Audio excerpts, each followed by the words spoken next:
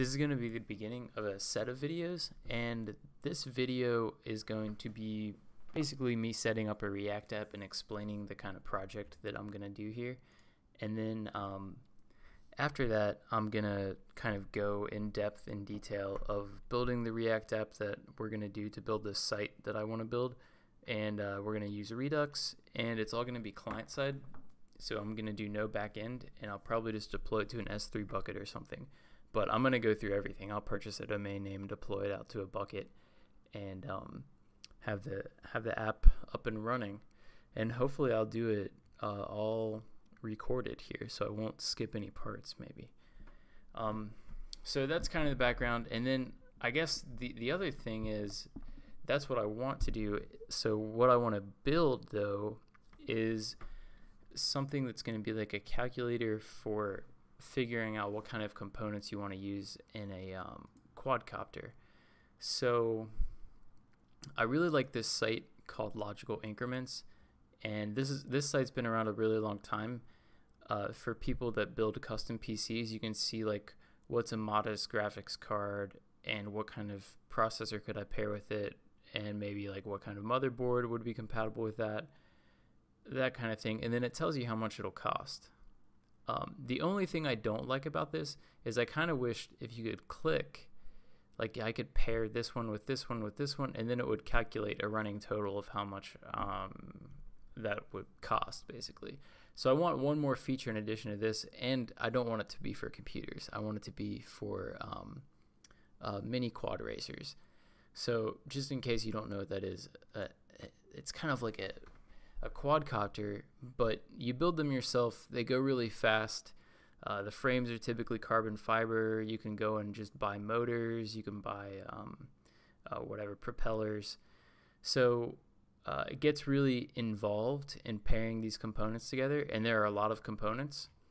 But I found a nice uh, post on Oscar Liang's website, and he kind of goes through a lot of components that you want to use and um, so it starts with frames and then you want to have a flight controller to control the thing. Then you've got the motors which are what actually spin the props.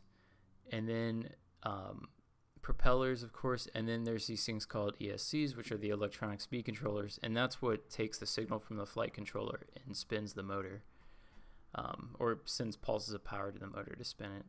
And then you've got a camera um, you've got a video transmitter, um, finally an antenna.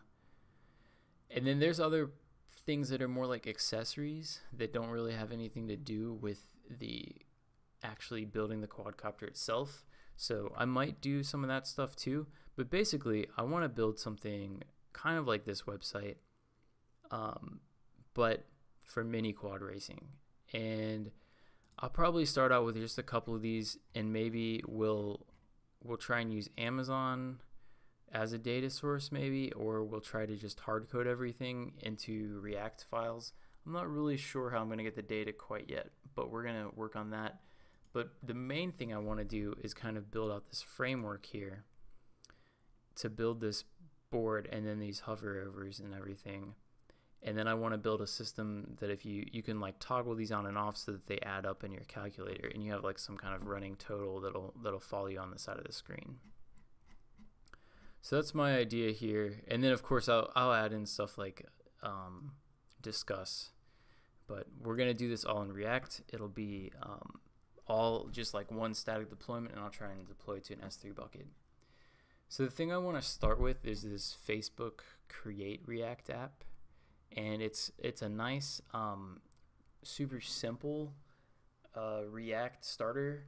It's not like the Kriasoft one. There's another there's another React um, starter kit called React React Starter Kit, and um, this one is a little bit more heavy. It's got a Node server on the back end, so it's got Express running in the background, and it's got React, it's got Webpack, it's got um, it's got Redux built into it. I kind of want to go a more minimalist route and just start with this and then actually we'll add in Redux ourselves manually once we start to need it. So here's what I'm going to do. I'm going to just start by installing this generator. So I have a directory here. I called it FPV build calc and I'll hit paste here. So this is just going to install the generator and then we're going to run the generator and it's going to create some boilerplate code, I believe. So I want to say create React app, uh, create React app FPV um, build calc.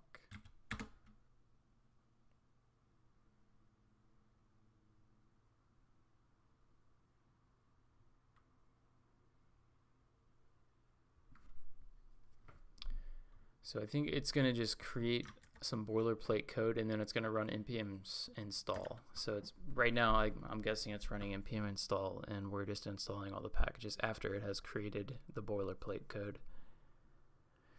And I just noticed my directory structure is a little silly here because I created the directory ahead of time. Um, so I'll fix that later. We won't fix it right now in the video. I'm just going to move into it after this is finished.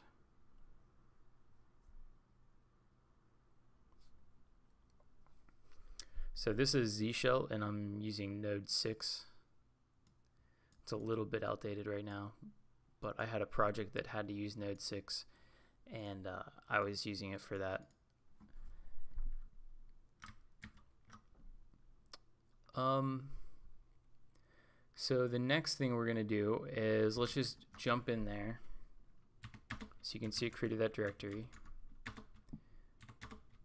I'll zoom in here for the camera.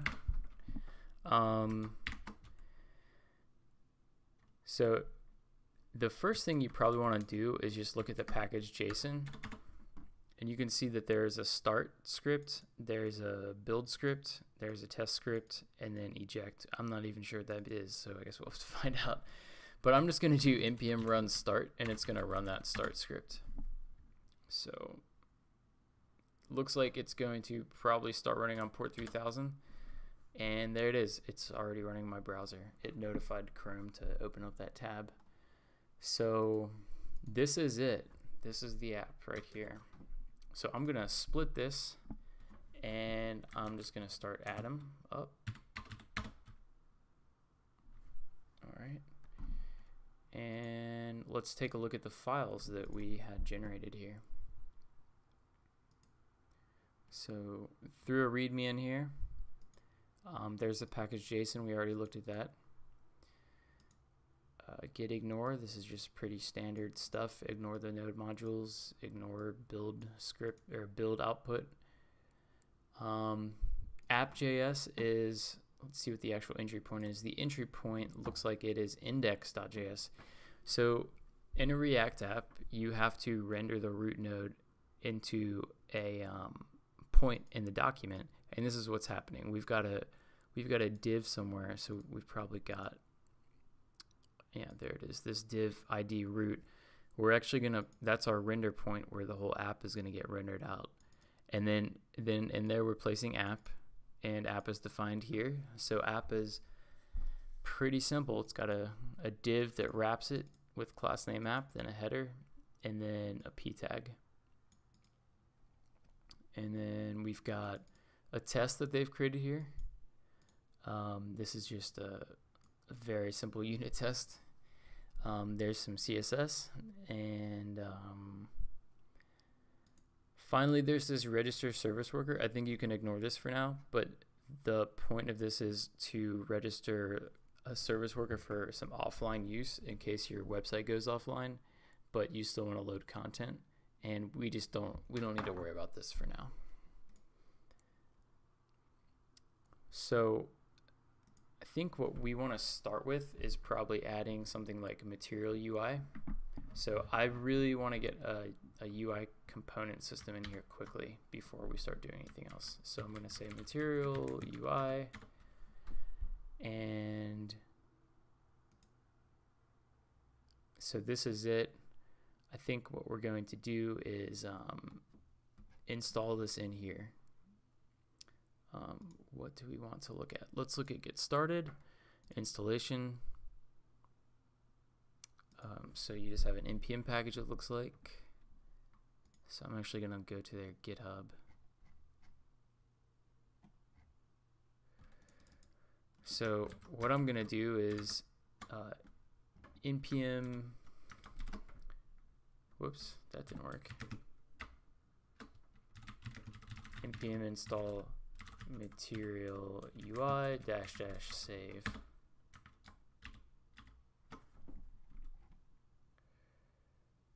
I tried to zoom in there.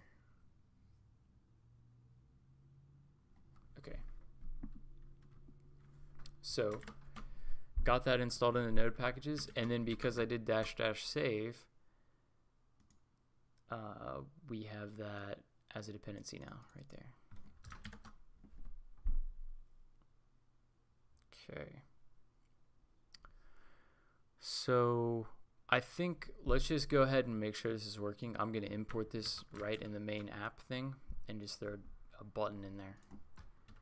So we will find out quickly whether or not this is going to work.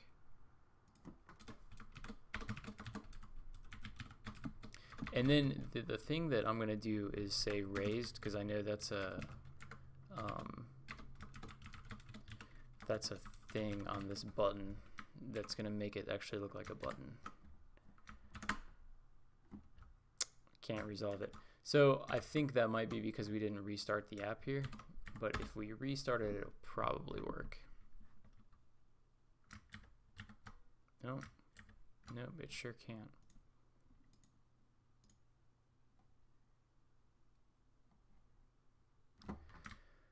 So let's make sure Material UI is installed. So I'm going to say uh, L node modules, and then I can look up in the M's.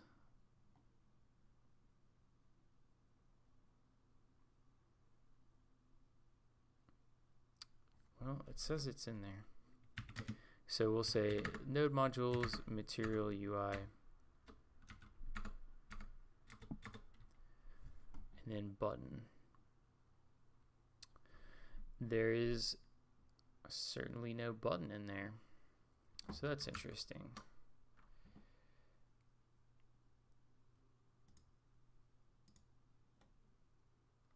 We're on point one nine point four.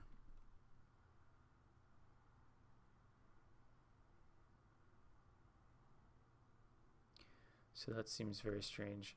Let's try something else. uh,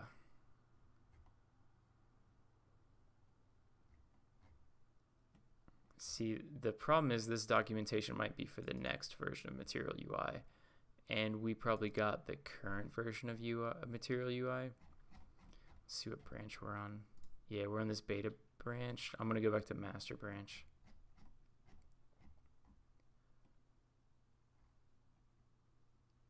Okay, let's try raised button. Sorry, I'm also used to using the uh, the beta version. So I'm thinking we can get that off of there.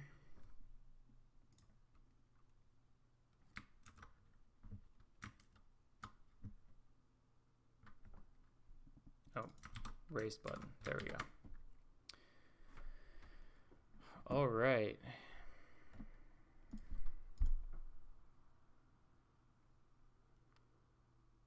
Oh yeah, that is a this is a thing. So the other thing with Material UI is you need this theme provider, which I forgot about. So let's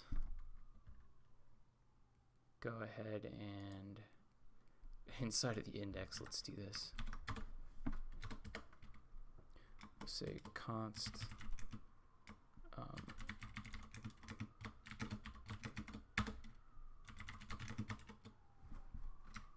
and then we're going to do something like this.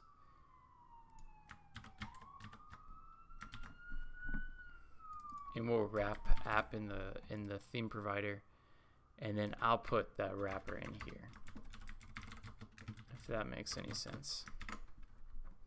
So this theme provider looks like it's a required thing with Material UI, and um, I'm just gonna throw the app component around inside of this so it gets wrapped around it and then we'll put the wrapper in here to get rendered instead.